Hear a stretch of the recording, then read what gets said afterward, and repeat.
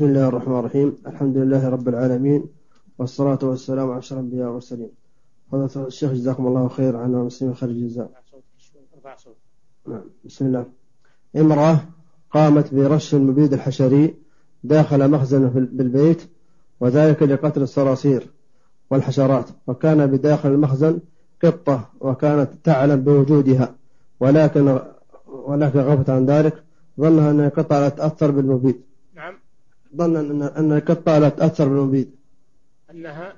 أنها لا تأثر بالمبيد لا تتأثر. وفي اليوم هذا التالي وجدت أن القطة قد ماتت. فماذا عليها؟